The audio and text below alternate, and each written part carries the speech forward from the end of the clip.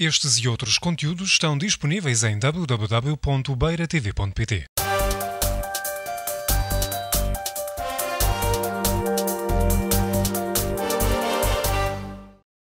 Aquilo que eu me propunha aqui uh, falar era sobre esta coisa simples 5, e já se falou também aqui muito em mitos hoje, no ensino superior, há vários.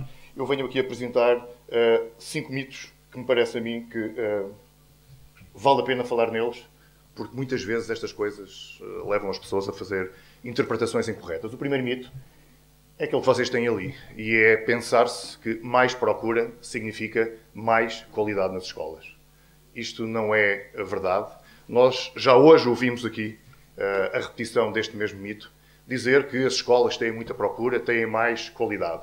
Já percebemos que não é assim. Há uma atração natural das grandes cidades Uh, os alunos que estão nas grandes cidades acabam por querer ficar nessas mesmas cidades e os alunos uh, das zonas do interior têm essa tal atração, procuram sempre ir para as grandes cidades. E se nós uh, olharmos para os vários mapas que foram aqui apresentados, percebemos que a grande maioria das vagas, mas também nos alunos, se, con se concentra nessas áreas e, portanto, há essa falsa ideia de que porque as pessoas as procuram, elas têm mais qualidade que, os outros, que, os outros, que as outras escolas. Na verdade, não é isso que acontece. E se nós olharmos uh, para, para, para a origem das pessoas que estudam nestas escolas, vamos perceber que entre as grandes cidades não há grande troca de alunos. Ou seja, os alunos de Lisboa ficam em Lisboa quando podem, os do Porto ficam no Porto quando podem, os de Braga ficam em Braga quando podem. Portanto, não há realmente uma procura da qualidade, há uma tentativa de ficar nos uh, grandes centros.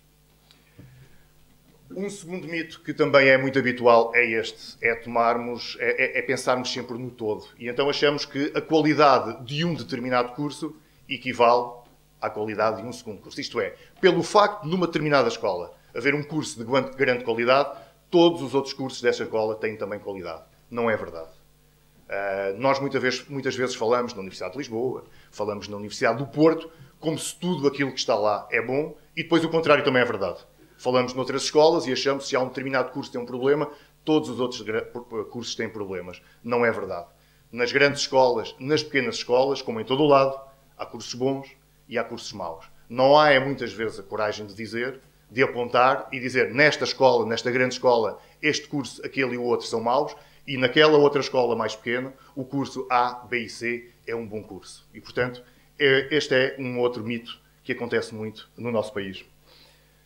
Um terceiro, uh, que tem a ver com algo que também se falou aqui hoje e que, uh, e que também não é verdade, é dizer, o facto de termos mais concorrência faz com que haja mais qualidade. Pode ser verdade uh, na economia, definitivamente não é igual em termos de ensino superior. E o que nós temos vindo a verificar muitas vezes é que quando há mais concorrência, nem sempre é o melhor que fica, por aquilo que já, ficou, que já foi dito. Se o curso, um curso inovador, como já foi dito, é colocado em três cidades, aquele que vinga nem sempre é o melhor.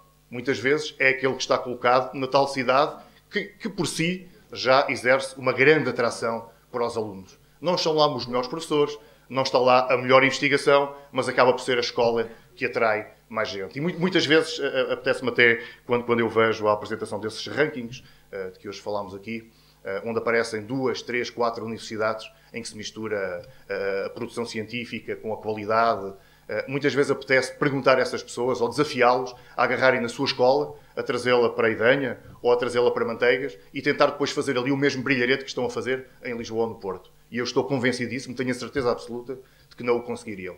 Portanto, as coisas às vezes não são uh, tão claras como alguns querem fazer crer. Um quarto mito uh, que tem a ver com a distância, o espaço métrico. Uh, dá a impressão que neste país a distância é diferente aqui e uh, nos, nas zonas urbanas. Nas, nas, grandes comunidades urbanas há um conceito de metro que parece que é diferente do conceito de metro que nós temos aqui nas zonas de baixa densidade. E, portanto, quando nos vêm dizer que em Castelo Branco, na Covilhã e na Guarda existem três cursos de engenharia civil, por exemplo, numa distância de 100 km, nunca ninguém vem dizer que em Lisboa ou no Porto, eh, em menos distâncias, há mais ofertas de cursos. A distância é igual um metro é, aqui é igual a um metro em Lisboa, e, portanto, quando recorrerem a este argumento, é bom que, que o considere. Isto é matemática, portanto, não vale a pena uh, termos outro tipo de interpretações para, para, esta, para este espaço métrico que é a distância. E, por fim, um quinto uh, mito que também tem, enfim, uh, aparecido em algumas, em algumas apresentações, que é, quando se fala em reorganização, pensar logo que nós estamos a falar em redução da oferta. Não tem necessariamente que ser assim. Uma coisa é nós reorganizarmos, e há vários tipos de reorganização uh, que já foram falados aqui hoje. Outra coisa é reduzir a oferta. Uma coisa não tem a ver com outra. A redução, a, a reorganização não implica a redução, e a redução uh, não é necessariamente uma reorganização. E, portanto, quando assumimos estas coisas de forma linear, tendemos a cair nestes erros, nestes erros e a construir estes mitos. Havendo estes três mitos que eu muito rapidamente procurei aqui eh, desmistificar para não, para não perdermos mais tempo, o que eu apresento agora são, não é, obviamente eu não tenho soluções no bolso, uh, seria ótimo, mas não, não as tenho. O que eu vou aqui fazer, no fundo, são três, uh, três sugestões que penso eu, e que também não é nada inovador, que elas já foram faladas hoje aqui ao longo da tarde, poderiam de alguma forma ajudar uh, o ensino superior no interior.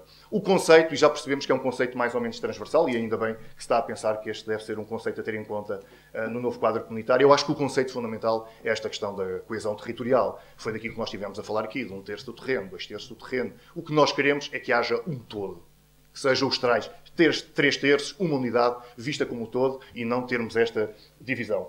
E então, uh, aquilo, uh, no fundo, que, que eu trago para aqui, que acho que deveria ser o caminho que poderíamos utilizar, o primeiro era este, e, enfim, já foi hoje aqui apresentado, é um programa que já foi distribuído, que as pessoas já conhecem, que é esta tal apoio à mobilidade para o interior. O permitir uh, aos alunos algum apoio para que eles se desloquem da sua zona de conforto e venham para o interior estudar para que a dificuldade económica uh, não seja um obstáculo, para que eles venham para aqui.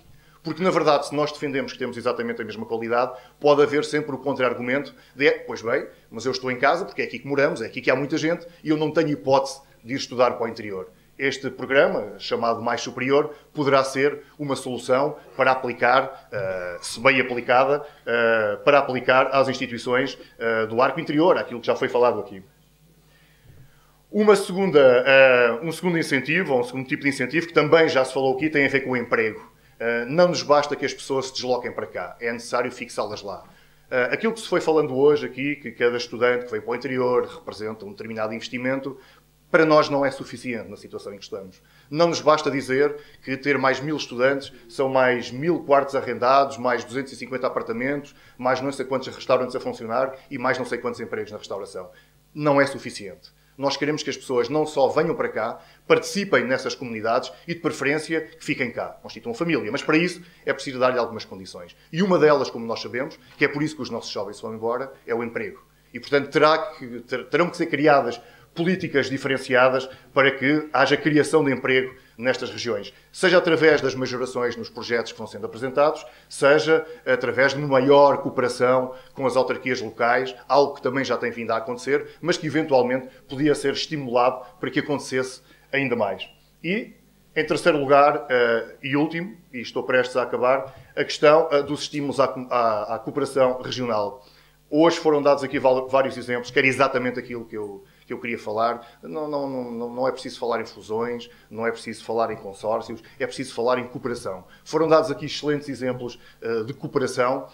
Mas esta cooperação também tem um preço, como é evidente. Nós fazemos, vamos fazer deslocar pessoas de um lado para o outro, vamos ter que repensar algumas estruturas, vamos ter que repensar alguns planos. Agora, isso terá que ser apoiado.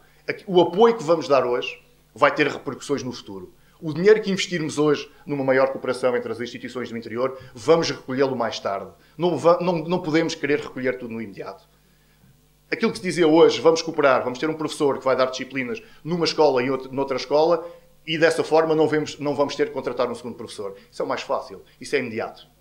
Não é isso que eu estou a falar. Eu estou a falar no longo prazo no dinheiro que vamos investir agora, nas pessoas que vão ficando, nessa cooperação que vai fazendo com que o facto das pessoas trabalharem em conjunto apareçam novos projetos, apareçam novas oportunidades, que desapareçam as redundâncias e que de alguma forma este conjunto no futuro naturalmente até acabará por se poder repercutir num consórcio e em algo que não é imposto de cima para baixo, mas que vai nascendo um pouco da cooperação que nós vamos tendo entre uns e outros. Não precisamos que ninguém nos venha dizer o que é que queremos fazer. Nós sabemos o que é que queremos. O que precisamos é que nos deem as, as, as, as, eh, condições para que nós possamos iniciar um caminho de cooperação e se calhar daqui a 10 ou 15 anos ou a 20 anos até nos estamos a rir daquilo que viemos agora aqui dizer, da Guarda, da Covilhã, de Castelo Branco, das câmaras municipais, dos autárquicos, dos políticos. Nós faremos o nosso próprio caminho.